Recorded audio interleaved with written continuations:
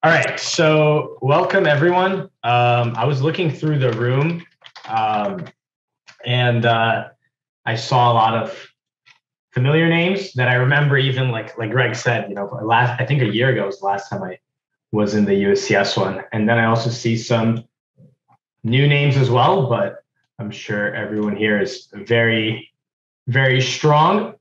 Um, all right, super quick introduction. Uh, uh, for those of you guys who haven't um, uh, met me before, my name's Alex, Alex Ostrovskiy. I'm an international master uh, living in New York. And um, I mean, that's all you really got to know. Uh, I have done a lot of these before. I think maybe I've given like 20 or more of these classes, but not recently. So it's always good to be back. And uh, I've, I've played some of you guys too. I recognize in the, we got, and then we got famous Rio. I wonder how his microphone is doing. He was had a very famous microphone last I remember, but we'll see. Um, anyway, let's get to some chess. So um, I wanted to share, you know, keep it kind of relatively simple for myself. Um, and uh, recently I've been, you know, Greg saying I've been organizing, organizing tournaments. I've been trying to play in them too.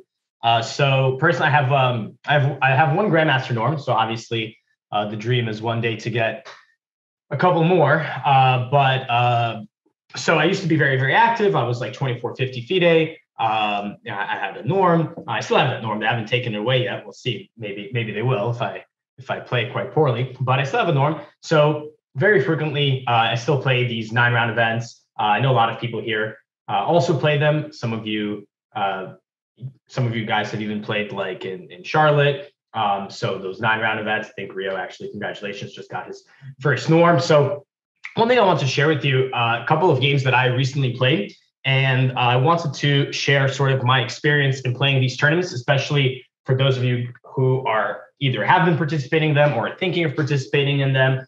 And uh, of course, you know, moreover than that, I just want to give you a little bit of glimpse into potentially, you know, some things that I like to do for preparation or some things that I think are important for everyone. I think and to some degree to do in your preparation. And of course, also I try to pick out some relatively interesting or educational moments from the from the games.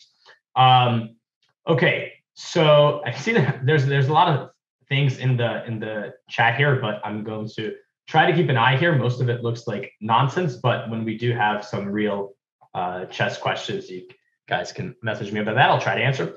Okay, I want to take you guys through uh, hopefully four games. Well, you know, give or take, maybe a little less or more.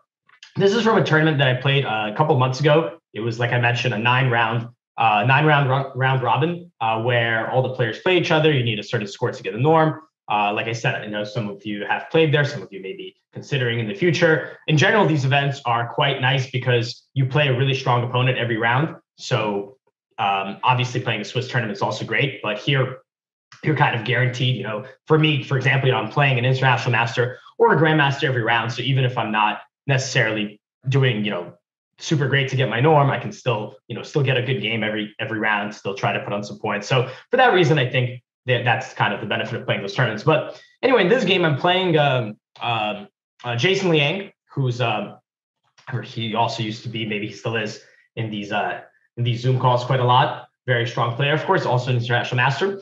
And uh, one thing I want to, before we jump into the first moves of the game, one thing I want to also kind of discuss, as I mentioned, preparation um, the way that it works for these tournaments also, and um, this goes for everyone here, regardless. You know, if you're playing these uh, long time control tournaments, whether they're Swisses or round robins, um, a lot of times you actually have a chance to potentially prepare for your opponent. Uh, you know, you get the pairings early. Obviously, in these tournaments you get them in advance. Uh, so you know, but even if you're playing, you know, um, some different event, they could be coming out uh, an hour or, or, two hours, or if you're lucky, a day before, uh, and you can have a look at your opponent. And uh, of course, nowadays, I think compared to you know I became an international master at this point almost 10 years ago and uh, compared you know so I can I can sound like an old man now because I can talk about oh back in my day um, 10 uh, 10 years ago when I was playing you know my events getting my norms the level of preparation for for my opponents was was like much um, much lower because we didn't really have I think as much access to all the stuff that you guys are using today, you know, like all these Chessable courses or just in general, like all these videos and books. Um, it just wasn't that common back then. So nowadays, there's all this information. It's just a question of how much time are you going to be uh, devoting to studying those things, and um, you know, and if you're kind of choosing the the right concept. So um, anyway, get, getting back to the to, to the present situation, when you know I'm in this tournament, I'm looking at you know what my opponents play. They're looking at what I play. Uh, this becomes a little bit of a cat and mouse game, and um, you know we'll start with the game. I play c4. Now normally uh, I'm actually uh, an e4 player, but one very very important thing in general is especially nowadays, like I mentioned, because there's so much possibilities uh, to you know for people to prepare. It's you know you can't really um, you know it's really really hard to truly surprise someone and um, and um, one, one I think really useful thing to do. This obviously very very general, and uh, is, is, to have multiple openings, right? And I think uh, uh, uh, for me, like actually, I played e4 my almost my entire life. It wasn't until I was, uh, I mean, I think three years ago, so I was already like, you know, in my in my 20s. Uh, I actually learned, you know, c4 from from uh, from scratch, and I added e4 and c4. So one other thing that I uh, also noticed, for example, was this is uh, more and more true, of course, for a lot of players but one thing I, I, I thought was interesting, Abhimanyu, who of course all you guys know, um, he, was a, he was a grandmaster and uh, youngest grandmaster of all time. He was someone who was always very, very well prepared. And I've played him many times when he was playing the round robin events, but he was always kind of playing the same exact line. So he was very predictable in his openings. But when it comes to these tournaments, when people are preparing against you, even if you know your line super duper well, if someone knows they're coming every round, it can be kind of um, you know not really that big of an advantage. So I noticed that when he started getting his norms, all of a sudden, of course, he improved in many, many ways, I'm sure. But one of the things that I noticed was all of a sudden, you know, he went from always playing E4 to then playing D4. And then versus E4, he used to play um, always, I think he was always like a Najdorf player. And I saw he was playing some games in the French. He was playing some games. Um, I think he even saw him play a dragon at one point. So he started playing all these uh, other openings that he had, I think, never played before. And that obviously is a, a tremendous amount of work to learn all those all those lines. But one of the key things about learning uh, these new new types of uh, openings is that you're really expanding your knowledge of all sorts of different positions, and that just improves your chess uh, chess abilities as a whole. Okay, big speech. Let's get to the game. So c4, e6, knight of three, d5. I played e3. Um, um, so we'll fast forward a little bit through the opening. If you guys have some questions, like I said, if you put them in the chat, I'll try to I'll try to answer them. Uh, but um, all right, we have this English uh, English opening type uh, type position. And um, one thing I'll, I'll, fast forward a little bit. Uh, so one thing I also want to add when it comes to doing your preparation, right? How how you know how are you uh, how do I handle that? How do you guys handle that? Of course, as I mentioned, there's all these different resources, uh, uh, such as um, you know, like I mentioned, like the Chessable courses are pretty big. Um, obviously, there's also like different types of you know, there's probably even things that I might not uh, mention or know about. Uh, you know, just online courses in general um, or you know books, of course, still viable. And more than ever, you also have access to engines and databases, and uh, of course, you can use those things as well. So uh, this particular line, I also want to kind of bring up this uh, this variation, just not only because uh, you guys will see that we'll have some decent moments in the game. So I want to bring this game up from a from a standpoint of uh, preparing for opponents and preparing openings. Now, this was actually the last round of the tournament. I wasn't playing for Norm. He wasn't playing for Norm. So, you know, it turns the last round, things get a little bit lazy. People are like, oh, okay, I've already played so much chess.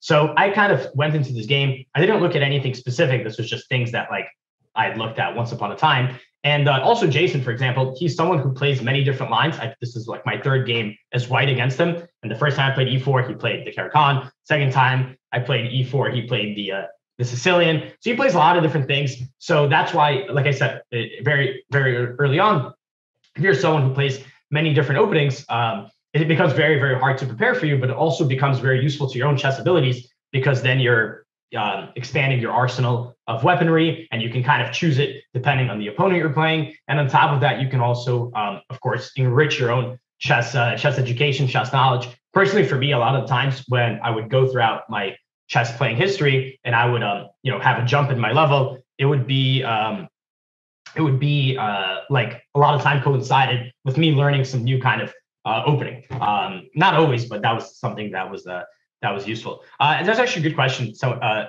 Joshua messaged me. He says, "What rating would you think is best to learn multiple openings?" And yeah, that's actually something I should should also touch upon because I'm not saying, okay, look, you know, you're 1500, fantastic, six openings, and then you know go go and get there go go out and get it. Obviously, you know you want to have a good sort of base, you know, whatever, you know, maybe you're an E4 or D4 player, great. You know, you want to know what you're doing there. Um, to, to start things off, you don't need to immediately start offshooting into all sorts of different lines um, or whatever if you play something with black. But um, you know, once you've kind of been playing some some particular opening, I would say, I mean, I don't have a super scientific answer here. I would say, you know, maybe like play something for like over a year, two, year, you know, year and a half, two years.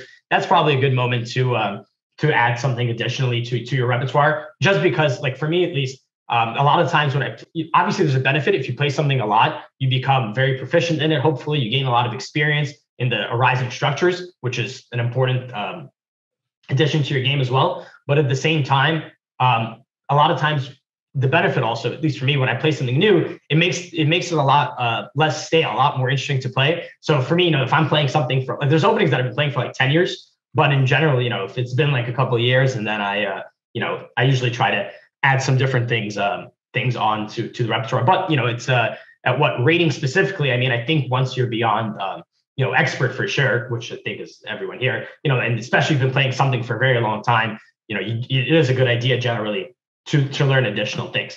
Um, on top of that, I should also say, you know, you also want to make sure the thing you're currently playing is is is adequate as well, because you might have learned an opening when you were like 1200, and you're just playing that opening for like the next 800 points of your of your uh, existence. And if you kind of still, you know, haven't improved on that knowledge, then you know you might not even need to learn anything new. You need to learn your own current stuff.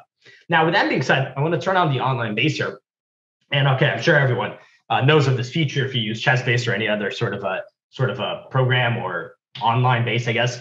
Um, it's also a good idea, you know, whenever you analyze your games or analyze some opening, you want to see what other um, uh, other players are doing. Okay, obviously, I'm, I, am i am assuming you guys all all know this. But one thing I was also going to add, especially nowadays, one one thing that I try to especially do. Um, not only do I try to uh, when you know, when I'm preparing my openings, obviously I use um, I use, you know, like I mentioned, like uh, engines and databases and, and other written resources. It's actually also important to look at what your, uh, you know, what your opponents could be looking at. So, you know, in this particular case, um, I don't know, does anyone, uh, you know, I haven't asked a question in a while, but I'm curious, does anyone play this variation for black? Uh, this, this is a semi-Slav. Does anyone play this for black? You guys could, okay, we got it one me, someone admits it. All right, so okay, if you don't play it, that's okay. You know, I'm not saying, you know, it's, uh, I'm just curious. Do you, do you play this? Okay. Now let me ask another question. If you play this with black, I think, you know, there's one resource that comes to my mind, at least, and this is something that I looked at because I knew my opponents could be using it. If you are someone who plays this line for black, and maybe you even know, even if you don't play it for black, what is a resource that I'll, that let's uh, what is a good resource on this opening for black? It's a specific course I'm thinking about, and I am sure you guys know it. Um, well, someone gave me a move. I'm not asking for a move. I'm asking for a, you know, yeah, exactly. Someone, so exactly. Someone messages. Okay, multiple people have messages. Yeah, so there's, for example, there's a Sam Shankland lifetime course here on on and on Chessable, for example, and um, that is something you can expect that a lot of players are going to use. You know, doesn't if, if you're playing this for white. So there are certain sort of um, resources that are very popular. If some top player publishes, you know, here's my analysis on the um, you know semi-Slav, Slav, whatever opening, you can bet that the suggestion in that line is going to be used against you. So it's it's also important to, uh, in conclusion, it's important to also understand what your opponents are looking at, even if you don't like. I don't play this for black at all, but I was aware of the course and I was aware of the suggestions uh, in it because you know when I'm doing my preparation, I want to know what what the other guy is preparing as well. So that's something important. So anyway, this type of position, exactly regardless if you play it or not, we have this. Uh, it's called the semi-Slav very solid structure for black. Uh, for now, this bishop is a little bit passive. Uh, white's plan is to break with e4 at a, good moment, and black wants to play e5 or c5. So I go over d1, he goes rook d8. These are all moves that have been seen. I'll, I'll leave this on for now. Rook e1, he goes rook e8. Now bishop f1. Again, uh, both sides are looking for a good moment to break through in the center. So there's a decent amount of tension in the position. Obviously, I'm looking for a moment if I can play e4 and then uh, have a. I mean, let, us give black like a move that's probably not very good, like a6. That move doesn't make really a lot of sense. Hasn't been played before though. So, for example, like you know, there could be a position like this where uh, black is having some troubles uh, playing this uh, c5 move, and then of course at the same time I have more space in the center, knight f6. Maybe there's queen c2, maybe there's queen h4. Uh, I'm not sure which of those are stronger, but black is really struggling to play c5 because here, for example, d5 can be played looks like there's a random game. I don't know how why Black played a6 in that game. I guess that's what happened. Uh, but looks like this uh, 2350 player stumbled into this very difficult position. There's knight g5, there's this pin. Just an example of white what white is uh, going for here. Obviously, a6 is a really goofy move for black. So yeah, white's looking for a good moment to play e4.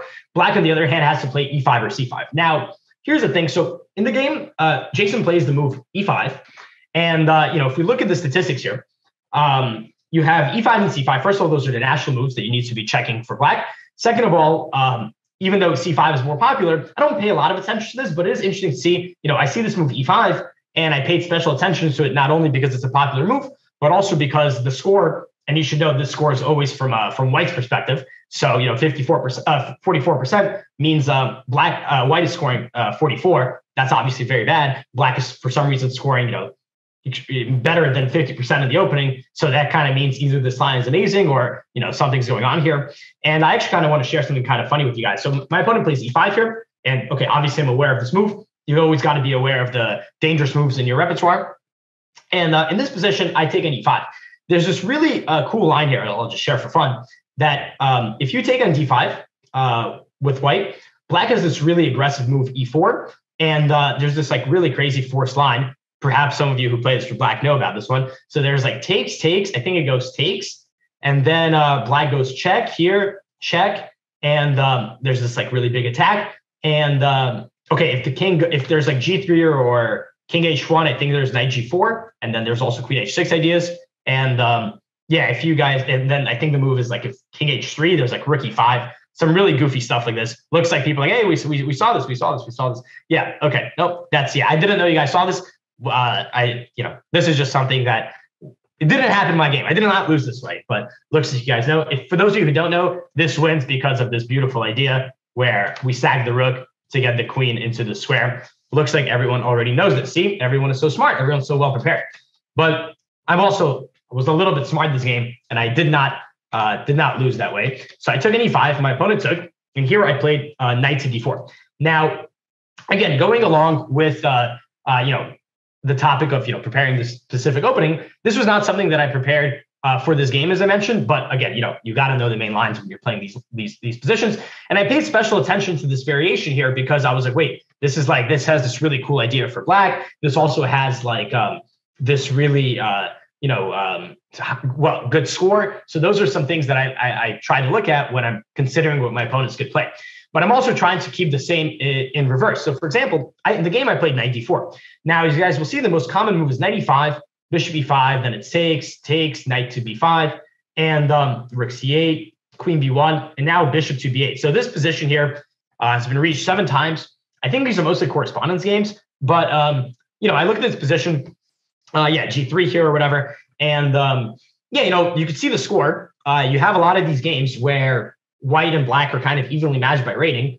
Uh, actually, white's like maybe even I don't know whatever. Let's just call it evenly matched. And somehow you know it's all draws and one win for black. And so you know even though white has this outpost, looks like black has a lot of activity with the knight coming to e4. So I look at this position; it's like around equal. And I was like, hmm, okay, this is like maybe not what I want to do. So again, instead of kind of going for the most common move in the game, I played the move uh, knight to d4. Now, um, you know, after the game, I I talked with my opponent. You know, we analyzed a little bit, and uh, this whole idea that, I, that I'm about to, that I, that I played in the game, he told me he was like, oh, like he, he we had some discussion about the game, and uh, he he, uh, was like, yeah, like um, you know, like I was thinking blah blah blah blah, and I was like, yeah, you know, that was actually a preparation. He was like, oh, okay, I didn't realize that. But okay, so he takes on c4. Now the whole point, you know, why do people not play knight d4? This looks really obvious. You're going to get this fork. You're going to be able to take on d5. All these good things. Well, the reason people don't do this uh, is because well, the people maybe people the reason maybe people don't do this is because after knight f5, uh, you get the bishop, but you actually uh, in this position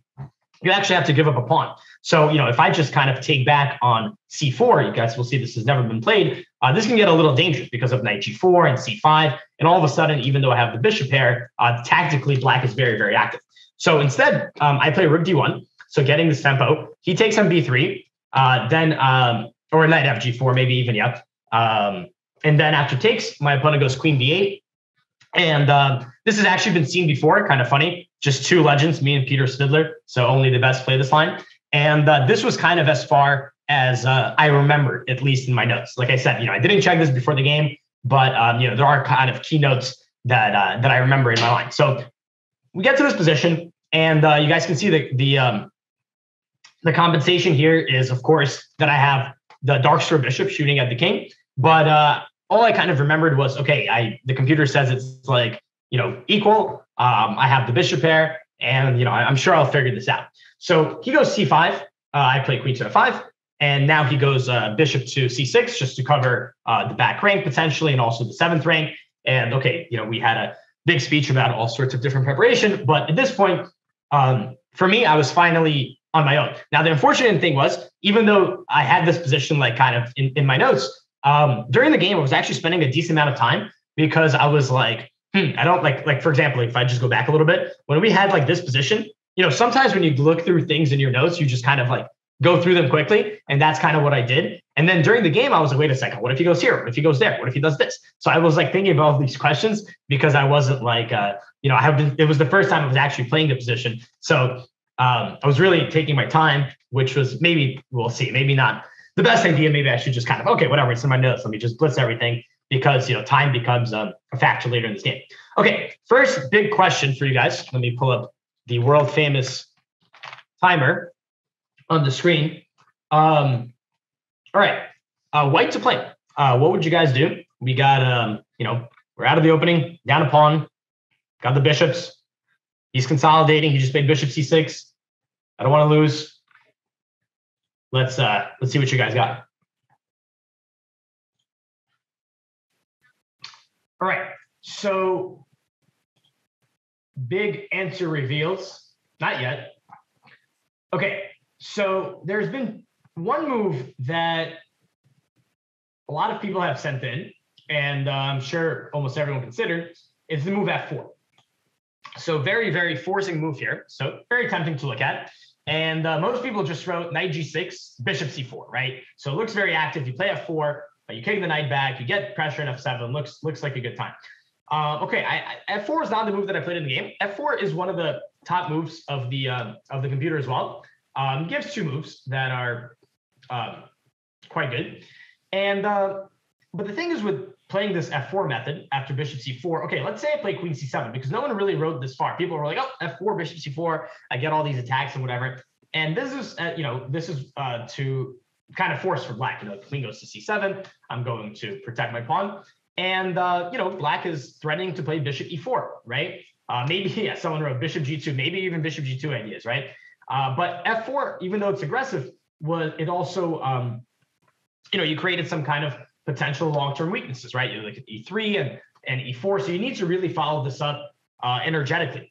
So uh, the computer actually goes for this line, but it gives a really, like I said, energetic move here. It goes for rook to d6 in this position. So I actually didn't uh, didn't really see this. I didn't consider this that far. And um, um, okay, so Rio said he put he put uh, king f2, but after king f2, okay, like maybe queen e7, just I can continue continue uh, consolidating. Okay, I got to be a little careful with bishop b4, right? Because there was maybe some rook d7 stuff, but um, yeah, queen goes d7. I don't know, looks a little a little suspicious, but um, yeah, the computer says you go rook d6 here, and then it like goes for this line bishop e4, and then queen d7, and things go into this endgame where um, or potentially could go into this endgame where white has enough compensation. I didn't actually see rook d6 though, um, but I was a little wary of playing f4 because you know I didn't really see this follow up, and I was okay. Look, you know I'm I'm playing very forcing moves, but I'm giving my opponent pretty easy moves as well, and I'm not sure. You know, it looks like I have the initiative for one and a half moves, but then what's my follow up? So instead, I actually played something different. I'm gonna. You had a couple of people who wrote uh, wrote this down. I'll call in Austin though, and uh, Austin will explain to us the big idea that he had. Trying to Hello. So my idea was h4, and I just want to march up the h pawn to open that diagonal for that bishop. So he's probably going to play h6 to prevent it. But now the difference is after f4 and then the knight moves. Uh, I think bishop d3, bishop c4, they both look good. But now h5 is a threat, uh, and then the knight will have to move again. Yeah, exactly. So um, yeah, I know. We had, like I said, there were multiple people with with uh, with that idea. So yeah, I can't call everyone at once. But um, yeah, H4. And again, the computer rates F, H4 and F4 the same. But to me, I actually played H4 here relatively quickly. And um, I was actually really happy when I spotted the idea too, uh, because it's it's uh, it's so simple. You know, you're just kind of like the thing is we're down a pawn, right? So it's it's tempting to be like, okay, let's make something happen right now. But this is a very long term asset, right? These these two these two uh, long range guys over here. So with H4, now it's okay, very simple. You know, I'm going to march this pawn down. And uh, yeah, if he does play h6, then that creates a lot more problems uh, on the light squares. You know, even something simple like that knight potentially hanging on g6 after the pit. So yeah, I played h4. Uh, what's this question? Uh, okay, was bishop c4 right away possible? I mean, I didn't even consider it, right? Because once I kind of trade my bishop off like this, then I mean, you, I mean, that that was one of the key things for our compensation, right? Having the two bishops, being able to chase this knight around. Um, okay, I have dark square pressure, but he's probably going to nullify it. Even playing a move like f6 is totally fine. In okay, maybe I don't have to do it right here, but at some point, just to block this bishop out.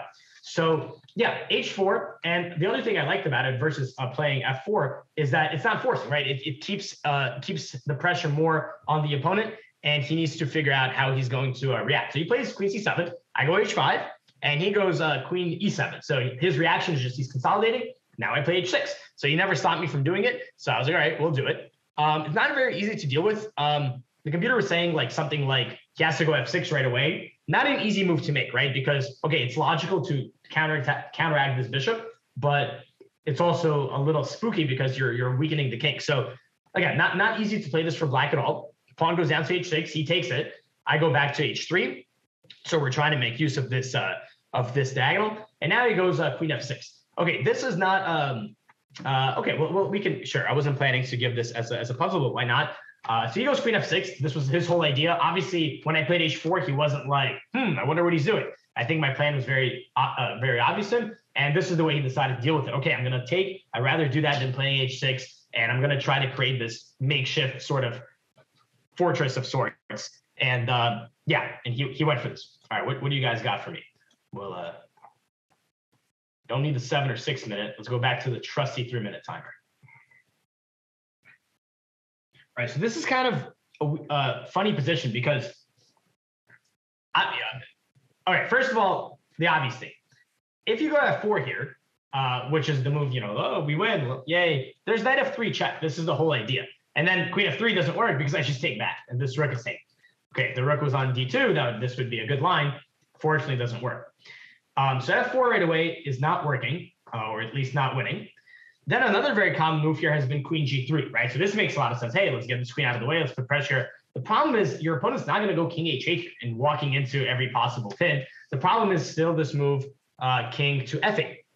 And okay, you know the game the game goes on. You're you're not you're not uh, winning here with that four because once again there's this knight f3 move. You don't lose either because you can take back with the pawn. Uh, you don't you don't take with the queen, but very complex. Both kings are open, uh, so yeah, need, needs to be examined. So a lot of people, you know, had these moves very, very, very forcing, and that's the stuff. You know, when my opponent played for this position, he was also looking at all these forcing moves, right? He was probably looking, hey, you know, like what happens if, uh, you know, if f4, what happens if queen g3? Um, there's some obvious moves too. So when I got to this position, I was looking at all these different moves too. Like for example, uh, Rio message, he was saying bishop a1. I think I saw some other people go bishop a1. This looks like a smart move. You're like, okay, I defend my bishop. You know, now I'm really setting up this idea of f4. But Black has some annoying ideas. Like his whole point, like this, this took forever to bring his queen, but now he can keep going. There's queen g6, creating pressure uh, on g2. There's also ideas of like, you know, like for example, if king f1, there might be queen c2. You got to deal with some annoying stuff here. And then uh, there's also uh, rook to d2 ideas. So this looks really clever because it's like, hey, if you go, uh, you know, there's no more knight f3, so I'm threatening f4. But again, he has this queen g6 move, threatening knight f3. And then if you play, um, again, this queen potentially can invade. So I was looking at all these moves as well, and I was like, oh man, this is like so genius. This queen f6, how can you do this? And um, again, the biggest issue, of course, is that he has this uh, knight f3 check idea, and again, we're all looking for solutions to play f4. And then, okay, you know, it's uh, basically once you kind of figure out the rest of these moves aren't really working as much, it, it's actually F4. And that's using metaphor. So you bishop e2 to prepare for. No, it's like, hey, F4 doesn't work. By the way, it's F4. No, it's bishop e2. So um, there's other moves like rook, uh, uh, rook d2 and bishop a1. They they don't lose, but uh, uh well, king h1 does lose. I, I think I just saw someone say king h1. Then I take an f2. But yeah, bishop e2 just allows you. It's just kind of weird because this was something that my opponent obviously missed. I also missed it when we were going for this position, and then um, you know a lot of people also miss this as well. I think it's just because, well, okay, we're doing this in the context of a puzzle, but even in the context of a game, it's really tempting to just kind of throw yourself in all these forcing options. Um, but this there there's there's something a long time ago that I that I read. Um, okay, everyone kind of does this. It's called like skimming method. You don't want to just immediately jump into like one move. You kind of want to look at you know maybe all the logical, you know, candidate moves, three, four, five options really quickly, being like, okay, F4, like what's happening there? Okay, then F3, I can go over D2, I can go Bishop A1, you know, what's what's the difference there? Okay, Queen G6 maybe. And then it's like, what are the other options? So for me, I was kind of like, uh, I was going through the same thought process though. Um, you know, like F4 with D2. And then I was, wait a minute, like I, I'm focusing on all these moves. And, you know, then I saw I actually had Bishop E2. So actually after Bishop E2, F4 is such a serious threat, and I'm also controlling this F3 square, that he actually just went back to E7, which is apparently the best move. Then I take an H6, then he plays F6. And um, okay, I was I was going to give you guys a chance to, to solve solve something here, but I'd rather save it for the next game. I just want to kind of explain what happened here. So um, okay, at this point, I was like, all right, I, I had maybe around like seven or eight minutes in the game. Uh, he had something similar. And uh, obviously, you know, when my opponent goes queen f6, queen e7, I was like, all right, this is uh, this is this looks like good stuff here. And um, so now I think I, I remember I think like I said I had six, you know, seven or eight minutes, roughly something like that, and I went down to two. So I put in, you know, the last kind of big thing sort of in this position because I was like, okay, this must be um, must be winning. You know, this must be a winning position is, is what I was thinking. And um, okay, there are some some some obvious moves to cap it, right? Is there like bishop e5 and then bishop c4? Uh, you know what is going on here? And uh, I'll show you guys first of all what what uh, apparently the most precise one is, just because it's really cool. So I also looked at f4. F4 is you know very obvious. Like hey, you know what if I go f4 here, uh, chase this knight away, so I can play bishop to f7. Uh, excuse me, bishop to c4. And um, I was okay. He has to go knight g6 because otherwise, you know, this pawn on f6 is is uh, is is is uh, is hanging. And when I saw this position, I was like, mm, okay, I'm not really sure what's going on here. I can give this check. He can go here. Looks really really lost here. But I was like, ah, oh, there's this pressure on this uh, on this pawn. Wasn't completely sure what to do here. But it turns out I have this. Uh, I, this is what I missed. E4. And um, okay, obviously you can't take because of bishop f6. And if uh, if bishop takes, then it's like rook d7 probably just wins. So this is yeah. So there was definitely a forced win here. Unfortunately, I didn't see this. I didn't see this e4 move. And um, instead, I looked at bishop to to e5. Um, actually, I think in the game I played here first, which was a mistake uh, because he could have actually taken, but he let me transpose back into this. So instead, this is actually, um, I'm sure you guys have heard this before. Uh, I even talked about this over a year ago. The problem is when you start running very low in time, uh, our, you know, we hyper focus on the most forcing options. So to me, that was this. I'm like, okay, it takes, takes, let, let me go for this. And then I even played like like you can see every move I play is like a threat. You know, every move I'm playing is like a forcing move, uh, because you know when you start running low on time, you get two minutes. Uh, you're like, okay, I need to be able to predict my opponent's responses, so you start automatically looking at things that kind of make your task easier. Unfortunately, a lot of the time that leads to us playing, you know, the most forcing moves, but not exactly the best moves. Okay, here actually these were uh, the best moves. Um, these were okay. The the win, as I mentioned, was at four, but this was actually not a bad plan. The problem was when I got to this position. Now I played e4. So I, uh, I get him tied down. He goes queen g7. And uh, the problem is at this point, um, this is the other issue of running low in time. And I talked about this before. Unfortunately for me, that's a very common thing. I'm low in time. Almost every game I play. Um, the issue becomes not only you know is your is your uh, you don't have enough time to think obviously you also start thinking in certain negative ways such as i mentioned only looking at the forcing options a and b um, you also start having i think a lot of people i mean certainly for me uh, you start getting a lot more uh, aversion to danger, right? So you try to m- minimize all the risk because you're like, okay, I don't have time to calculate this. I'm going to try to play this like safely. By the way, in this position, the computer says my best move is really funny. And the game I played Queen H3. The computer says the best move is Queen H1. Um, I'm not sure why Queen H1 is better than Queen H2. I didn't really look into it, but the idea of both this just looks really funny. I just want to mention it. But the idea of both of these moves is that the rook can swing over to H3. So what I should have been doing here is like, okay, I'm down this pawn, but it doesn't matter, right? Like because these guys are not moving anywhere anytime soon. In the meantime, all the play is fixating on the king side. But like, as I mentioned, that's the other issue. When you're low in time or your opponent is low in time, that's also something important to consider. They're going to have most likely, or you're going to have a lot more, you know, risk uh, risk aversion. And uh, to me, I, you know, I was like, oh man, like I, I got to be a little careful here because I don't want to have my initiative, you know, peter out, and then I'm just playing down a pawn. So what ends up happening is that you know I do a terrible job of, of putting pressure on him, and he consolidates, and um, eventually what happens is like um, I trade the pieces down. Um, I think around here even, yeah, this is still obviously a better position for me. But um, okay, he's doing a he's, he's doing a better job in his uh, in his consolidation. And um, okay, we ended up just kind of getting into a draw endgame. So um, yeah, kind of a very uh, anticlimactic finish. Just kind of like, oh, here's my advantage, and built it all up. Okay, here, here's a draw. It, it's all good. Um, and of course, that's a that's a major issue for anyone um, who's you know ever been in a in low time situations. You just kind of um, can't play as well, you know, with low time as you as you can with uh, you know that's that's pretty obvious. The, the less obvious thing is how, how, how do you avoid that? So yeah, going back here, obviously we had a quite quite a you know long uh, discussion about different types of you know things to to focus on preparation from uh, you know choosing your openings and you know resources to um, uh, you know, also predicting what the opponents are going to play, having a look at lines that you know are critical, critical as in recommended, you know, in popular theoretical manuals um, that score well, that are you know simply make a lot of sense. Like sometimes I'll look at a position, I'm like, what if black goes here? Like, what if white goes here? This looks pretty obvious, and uh, the move might not be like very popular, but if it looks obvious to me, I'll usually have a look. And uh, you know, because if I'm thinking about it, it could be something that my opponent plays as well. So um, yeah, right here, I thought this was a, this was a pretty nice moment. And for all of you guys who played H4, um, you know, I think uh, that that that's a kind of good idea to keep in mind. Just kind of slowly. Someone mentioned it, like they were like, "Oh, slow." The art of improving your position, or something like that, or slowly improving it. I'm sure that was some topic someone covered at some point or another. Um, yeah, that's that's that's a worthwhile skill to have.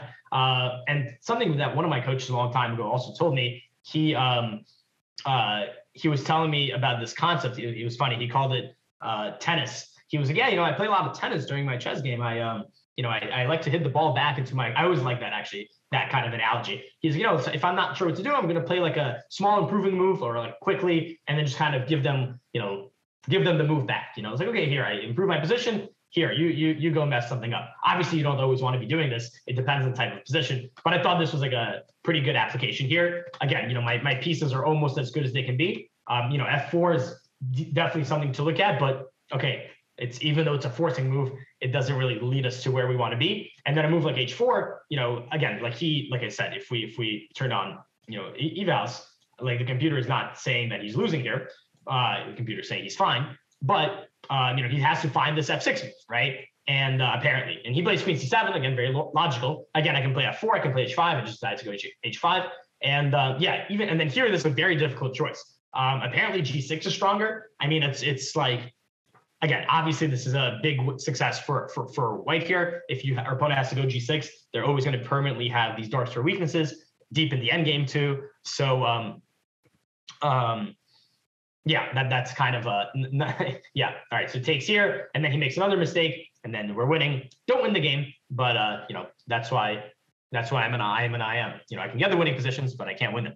Uh, we have a question here that I'll, I'll answer before we move on, and probably get to cover one more game. Um, do you think it's worth switching up your whole repertoire to dodge opponent's preparation? For example, if I'm an Italian player, see my opponent plays a bad line as Lopez, start switch playing that line, even though Lopez. Okay, uh, the first that's two different questions I would say. So switching up your whole repertoire to dodge opponent's preparation is, I mean, not advisable generally uh, speaking, because you know you're saying, okay, look, if I'm worried about something they play, you know, what if I change my entire line just for that one game, short notice? You know, that that's very risky because, um, I mean, you know, there is, it could work. I'm not saying you're never going to be successful with it, but obviously it's very difficult. You can't. It's very difficult to learn. I mean, it, it depends. Is it a new sub variation, right? That those things come into play. Um, you know, you can change your variation. You can't change your whole opening. You know, if you've never played, for example, the Ruy Lopez, and you always play Italian, then uh, you know you're probably not going to be able to do it uh, just like that. There have been situations though where you can see like, hey, my this guy always plays this one variation, and it's tempting to go for it. Um, you know th- that could be possible. I've definitely seen or you know even done some kind of uh, th- uh, something like that where you kind of try to target your opponent in one specific line. But you know it obviously comes with risks because if your opponent's also preparing for you, they'll know like, wait a second, why is this guy playing this line that they never play? You know, like, and you also should keep that in mind too. If you prep someone, you see they play, you know, they always play the, you know, the French defense, 150 games in the French, and then all of a sudden you come to the board and they play something different. You got to be like, okay, you know, probably there is uh, might be something coming. Now, okay, you don't have to freak out. You know, at the end of the day, you still have a whole chess game to play. But yeah, to answer the original questions, of course, you know, it's hopefully, you know, you, you don't switch your entire opening before, you know, an hour before the round. Um, hopefully you have some other options you've, you've prepared. And um, obviously, if you change something to directly target someone's preparation, hopefully you also know something there as well in case they deviate, um, because that, that could very well happen. And you could, you know, you could trick yourself uh, more than you're tricking your opponent. So most of the preparation, of course, has to be done before you're, you're at the tournament, uh, any tournament you're playing, whether it's round robin or Swiss or quads or I don't know anything, anything at all, because um, you know that that that's what uh, that's what preparation is. You know, you can't really change too many things on the fly like that. Um, but you know, okay, so if you, but if you have an event, you know, you know everyone's pairings, you know the pairings in advance, things like that. Uh, like Austin saying he's prepping for his first IM event. You have to keep in mind that when you're prepping for players, they're also prepping for you.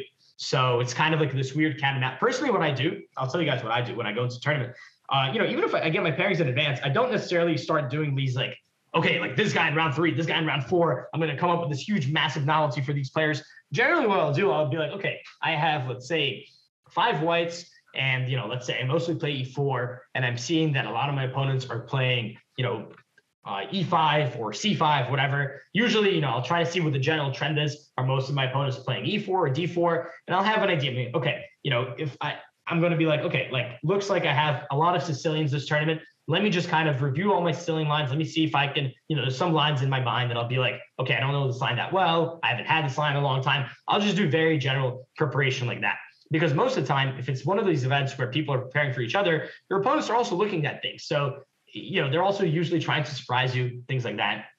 So I try, I actually don't really do too much targeted preparation uh, in general, just kind of focus on my own lines, you know, and uh, then also what you'll see is what happens in these tournaments, if you are specifically playing a round robin, is that, you know, things kind of change compared to round one to round six.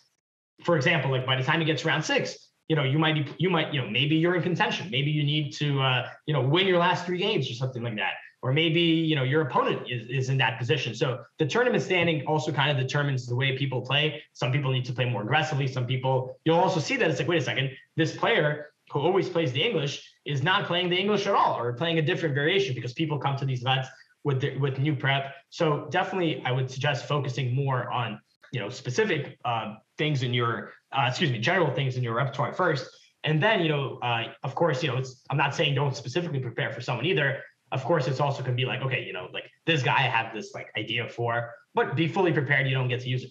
But these ideas never go to waste because you could, if you don't get to use it in a that game, you could use it, you know, in a future tournament or in a future game or things like that. So it's a, it's a tricky game. Basically, you know, the, the general answer is know your stuff. if you if you're if you have enough time and you're strong enough, know more than your stuff, know multiple variations, and then uh, you know, there's a lot of players I play who are grandmasters. They don't do any prep for their tournaments. They don't prep at all during the tournaments but they play so many things and they've been playing them for such a long time. You know, they can come to the board and they can play, you know, four different openings. And, uh, you know, they, they, it's, very hard to prep for them. And, um, you know, they know their stuff and they, they kind of change it up. Okay. Sometimes they play into something that you might know better than this happens all the time too. But, uh, you know, they have a lot of different weapons. That's what a lot of, I've noticed more and more nowadays, a lot of, a lot of players, they, you know, I think back, we used to be like, okay, I play this one thing. I'm going to play it for 25 years. You know, I'm going to play it forever. You know, there's even players I'm sure everyone here knows. If you go to like your local chess club and you're playing some of these players who've been there for a long time, I've been, like, you know, I, I've been going to my local chess club, you know, since I was like seven years old. And sometimes I can still play those players if I come back today. They're playing the same opening they played back then. But nowadays, you know, to be a strong player and um, you know to improve, you definitely don't want to be doing that. It's also not fun, right? You know, when you play this game, there's so many options you can do, and you always do the same one. Sounds a little bit boring. Uh, don't don't really recommend that. All right, let me show you guys one more, and I'll I guess I uh, I always do this. I always prepare like four or five different things. Then we look at like one tenth of them. Um, let's see which one I'll pick. I'll pick this one. This game is a draw. I just, I'd uh, have a loss that I have here, but I also have a win. Let's go with the win, right? That's more fun. Um, so let me pull this up. Okay, speaking of, um, this game was actually played um, also in the same tournament.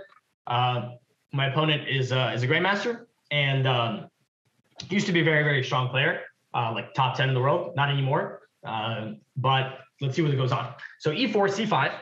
Um, by the way, this is also a guy who um, you know before the tournament I saw us playing him. Um, you know I saw he plays a lot of Sicilian, but it wasn't clear which lines. Like he plays like four different lines uh, in the uh, you know he can play some like Scheveningen, he play like you know Kan, There's all these different lines. So, you know, it's what am I going to do? Am I going to like study every single one of those lines? Okay, I could do that. Um, but uh, kind of before the event, I kind of reviewed the things more that uh, that I was like, okay, I don't remember this that well. Let me review this more. And when I came to the board, he played something that I didn't even look at at all. So this also happens quite often. So I played bishop b5 check. This is what I normally play against this uh, Sicilian. He decides to play knight c6. I'm sure there's some bishop b5 players here. I'm sure there's some Sicilian players. Knight c6 here, you know, there's bishop d7, which is considered very solid. There's knight d7, which is like in the midway point. Almost everyone plays knight d7 nowadays. Haven't really seen a lot of knight c6s. This one is like maybe like the most combative because, you know, you don't block the bishop. Uh, you know, you keep your options to attack in the center, even with f5. So he decides to play this, you know, more aggressive way for whatever reason. Uh, castle, he goes bishop e7, rook e1, a6, a retreat. He goes e5. And we get this type of position, which is kind of like a mix between a Sicilian. Uh, obviously, we start with Sicilian and uh, and the Ruy Lopez, uh, right? You know, the very typical, you know, C3, D4 buildup uh, in E4, E5 positions. And uh, my opponent takes takes. He goes Bishop G4. I play D5, Knight D4, Bishop E3, captures captures, Bishop D7. Um, okay, so this was actually uh, th- this was actually um, like I said, I didn't prep specifically for this game. I mean, I didn't have this specifically prep for this game. Um, and this is actually all I knew from uh, from my uh, from my knowledge. Um, you know, this these specific moves. Um, and my opponent actually had. I don't think he actually uh, knew this. He was like kind of just playing on his own at this point. So uh, let's get some big speeches going. What do you guys think? You know, I'll make it very general. What do you guys think about the position? Um, plans for both sides, and um, what's your what's your evaluation? You guys, uh, you don't have to type it in. Just I'll call on someone. Just type me if you want to be called on. Or I'll call someone random. I'm calling Greg. I don't think he's here though. There's no me's I get to pick. That's perfect.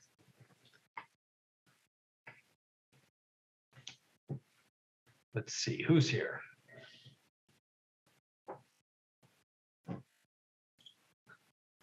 Pick, pick, pick, pick. Pick someone I've never heard from who hasn't typed anything either. So you're in danger if you haven't typed anything. Let's go with. Let's go with Jenny.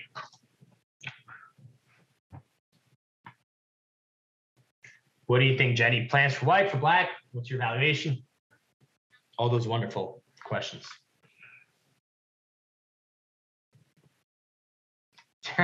Jenny said no. Uh, it's rough. How are you guys going to get participation points? You know, Greg is going to issue everyone a report card at the end of the class, you know? All right, who's this? Who's talking here?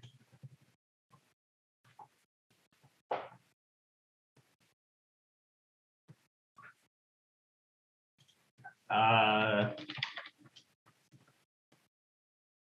going to butcher your name help me out. Aradia?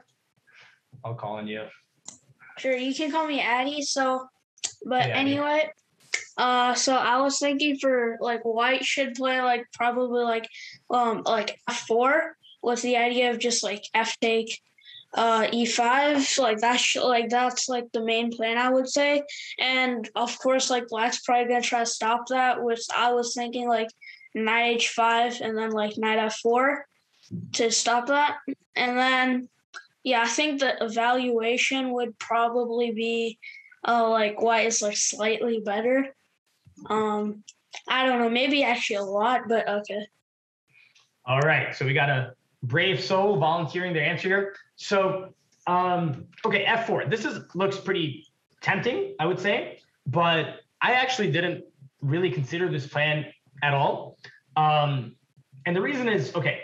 So let's kind of draw the boundaries here. Obviously, this reminds us probably more than anything, maybe like a King's Indian type position, right? Because you know we have this chain. Um, black has I think black's plays obviously should be on the king side. Uh, you know, we Adi mentioned like knight h5 ideas to stop f4, but also just in general like knight h5, f5, bringing this bishop to uh, to g5, things like that. So obviously, you know, these double pawns looks like, hey, you know, the king's in a lot of danger. But because we have the space advantage, we're really restricting a lot of these pieces, and particularly this bishop, right? This guy's quite bad. This is also giving us a lot of space on the uh, on the queen side here. So, you know, looking at my position here, I was like, okay, look, we're gonna have a nice little party here on the uh, on the on the queen side. And uh, you know, it's not so easy for black to get any kind of play going because again, these are ideas. You know, you could bring this out, but even if you get all these scary moves like you know knight h5 and knight f4 and queen g5, you know, I put my king in h1, and you know this light square bishop. Uh, obviously, you know, I can also like do some other stuff later, like maybe bring this rook in. It's not that easy for black to break through. So this type of position, I actually think is very, very. I think I think the computer really likes it for white too. But I actually quite like it. I really, really liked it for for white. And when we got this position on the board, I was like, okay, this is quite simple. I'm going to go all out on the queen side here. So first I played knight d2. Uh, the idea is just to develop, obviously, the target here. And now my opponent plays b5. Very um, okay. Like, what does he do, right? If he just plays knight, uh, if he plays bishop to uh, e7, you know, I can play knight c4 and try to invade. I can also maybe throw an a4 first. And um, you know, again, it's like those King's Indian races where you know black kind of goes all out on the king side, but you know, I'm really kind of uh, crashing through here quite soon as well. Um, not sure exactly what the best, best setup for me is. You know, I can put the bishop or knight there, uh, try to put the rook on the c file, maybe queen can swing over even to a3 in some of these positions, create some pressure. But also, I wasn't thinking of f4 at all because it looks very clearly like my play is on the queen side, and I rather keep the central formation uh, solid. So again, this is, uh, you know, I'm sure this has been a topic uh, many, many of the USCS coaches did a million times. And, um, you know, just kind of understanding the pawn structure. That's another important thing. Whatever line you play, you know, again, this position here, if we look in the base, it's actually been reached, you know, relatively often. Um, and some really strong players, you know, you got Anand here. So it's been breached 122 times. I don't really know this position super well, you know, when I went into it, but you know, I knew these these main ideas. So um, let's kind of look. Uh, yeah, knight d2 is played. There is also a4 as a possible move. My opponent plays b5, and okay, very you know very committal because he's giving me a target, but he's also not letting my knight invade. So I go a4. What was the idea? Well, the idea here, he plays the move uh, bishop to um to e7, so he likes to keep the pawn on b5, right? I actually thought maybe he was going to consider taking here. Um, and I was okay, there's no way this works. You know, he can't just be opening up the entire queen side for me. So I just want to show you guys this idea in case um, anyone, I mean, just just kind of give you something to use maybe in your own game at some point. I was going to play knight c4. Obviously, you know, there's a, if I get this light square bishop, this guy's going to dominate everything. So rook b8 is forced. And speaking of getting rid of the light square bishop, I was just going to sacrifice here at a4. And um, again, you know, uh, some players, uh, and me included, when I was younger, I would say, you know, it's very kind of difficult to sacrifice material unless you get it immediately back. But here, it's like it should be. I mean, we'll look at something a little concrete, but it should be so obvious that you know this guy is such an important piece for black, and really his only good piece that even if we give him this rook and we dominate all these squares, it definitely should be enough compensation. So for example, if he takes, queen takes check, like queen d7, queen takes a6, okay, we already get the pawn back. And there's all sorts of stuff here. Obviously, this king is not safe at all. You go bishop b7, I go knight b6, queen b7, queen a4 check, for example. King has to go to f8. This king can't even get out. And, uh, you know, we probably can even win with the very simple plan of using this b pawn. So, um, yeah, this is very, very uh, bad for black and he didn't do it. He was like, okay, that's obviously pretty bad. He goes um, rook uh, bishop to e7, and uh, okay, this makes sense. He wants to maintain the pawn, keep it from a uh, keep my piece from coming to g4, take on b5, queen b3. So pretty logical moves. Opening up my rook, creating this target. We work uh, together, castles, live rook together. c1, knight h5, takes takes, rook c7, queen 8. Now the funny thing about this game here, um, I didn't know this at the time, of course. Uh, so we're actually following a decent amount of games, and um, castles. I play rook c1. This knight h5 move, um, not a novelty, but not the most common move. The most common move for black here has been h6. And I guess the idea is, you know, at some point, maybe the knight goes to h7, could maybe still go to h5, and black tries to really get rid of this bishop. Um, I think that's kind of the main idea. As you can see, the statistics are not very kind to black here, um, but we'll get something similar in the game. So he plays knight h5. Like I said, this has been played before. Um, uh, 2016, had no idea about that though. So he goes knight h5, very, very logical. And this is something else that I want to kind of share with you guys. Um, when I was especially, uh, you know, I'm guessing the average rating here might be around like 2100 or so, uh, especially when I was that rating. So when I was around like 12 years old, um, I would, um, um, yeah, if I was in this type of position for for white, uh, I would definitely be freaking freaking out a little bit because one of the things that I've always found, um, and even now, like that's also kind of scary. I always found it very annoying when my opponent kind of is attacking my king, right? Because like, oh, you know, I'm gonna get checkmate. So when you, you know, this whole position here, when he goes like knight h5, it looks like black has a very, very obvious plan, right? You know, he's gonna go f5, he's gonna go knight f4, so aggressive.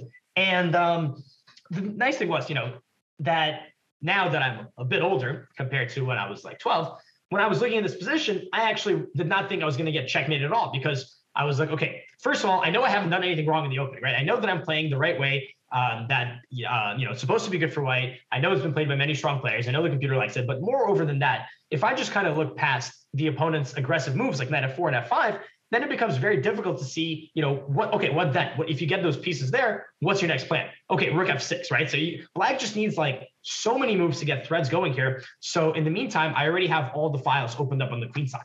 So I was like, okay, logically speaking, this attack is too slow. So generally kind of speaking, there's this, you have to also, when you're being attacked, at least, you know, this was something that I learned over the years, is that you know, you have to also keep it in perspective. Even if it looks scary, you have to kind of, you can't, okay, sometimes it's good to rely on your intuition, but very often you have to also think very specifically, very concretely. Okay, it looks scary, but, you know, let's look move by move. And now I was actually pretty proud of the calculation I did in this game because everything came forced. So I took, he took, I played rook c7, he plays queen e8. So very logically, he keeps his pawn defended, and he also tries to, you know, he bring this queen over here. Um, I would give this to you guys as a puzzle, but I'll just kind of share it, you know, since we're about to finish. So I play queen a3. So again, as I mentioned, my files are already open. I'm gonna, you know, start slamming through on the queen side. He goes f5. Now I go queen a7. He goes knight f6. So I'm not sure, but I think you might have missed this idea. And this is why I'm saying, you know, you want to be, you know, it's important to keep a cool head and look concretely at these positions because here it looks like, okay, you know, I put my rook and my queen on the seventh rank. You know, looks like I'm not going anywhere he's going to play, you know, f4, that might bit or something, or maybe takes, and this queen is coming. So it's starting to look scary and, and whatnot. But here there was a move that I'm pretty sure he missed, and that was the move pawn takes f5. And I saw this move um, quite far ahead actually, um, and it looks you know very stupid because you know this whole time we want to keep this chain together. But the point about uh, of this move is first of all, you know, there's pressure on this pawn. There's there's this idea of f4, and this just gets rid of that. Obviously, he can't take back because he's seven's hanging. And at the same time, I'm also opening up avenues for my pieces. Oh, by the way, bonus points. I also take away queen g6. So this solves three threats at once. Not a move that looks obvious at all, uh, especially you know from afar. You know, you're ruining the pawn structure. But this move really puts his position kind of this busts blacks all of his plans. And you know, 94 is coming if this knight gets in. Very, very bad. Now the game is not. I actually saw even past this because I thought his move was forced. He plays bishop to d8. I go rook b7, and now he takes an f5.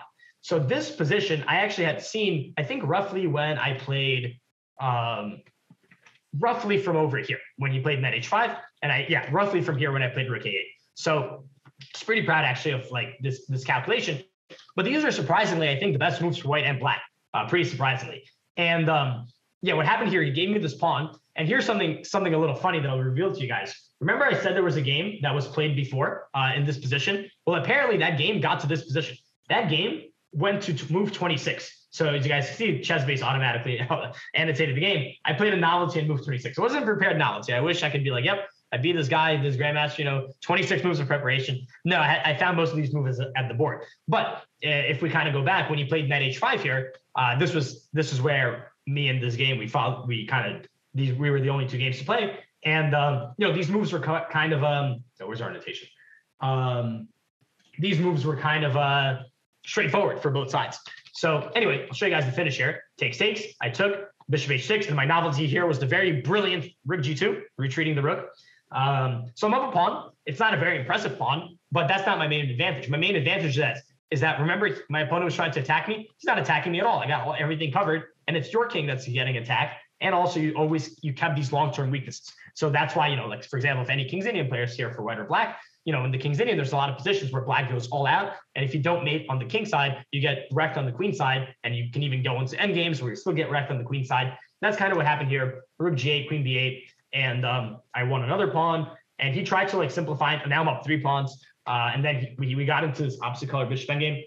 He ended up actually resigning somewhere here. Uh, he should have actually played it out. Um, he would, you know, he was just down three pawns. It's kind of a weird position because uh, this bishop can kind of just sit here and do nothing. Like you know, he like resigned. He was like, all right, whatever, this is losing. But uh, the win here is actually um, okay. I would have won, but it takes a while. There's like some wins where I basically zugzwang him by moving the king around. I would have played this on. I thought it was a little weird he resigned, but okay, he's lost.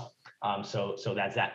Anyway, um, again, you know, thought um, if I just want to sum up what kind of happened here. Yeah, I thought this type of uh, opening position was interesting in general. Um, and uh, also one of the things that um, I think I began understanding at a better level, at least, and something that my some of my coaches at the time were always preaching to me when I was younger was, you know, they really kind of taught me the value of having more space. And I think that's why in, in nowadays in a in a lot of different uh, openings and variations, you see all these lines where you know white just kind of plays for some space advantage. And here, you know, this is even a good idea, even though my pawns are all doubled up. Let's see what the um, you know what the evaluation here says. Yeah, the computer is kind of giving you know 0.7 or something like that. So very favorable position for white. Uh, looks kind of spooky, but that's kind of the advancements that we have, uh, you know, in, in our understanding, uh, especially with some of these engines. So yeah, plan here was very straightforward. You know, just go attack on the queen side. Um, then again, dealing with opponent's pressure. You know, he was he has this very spooky attack, but it turns out, you know, with the cool defense,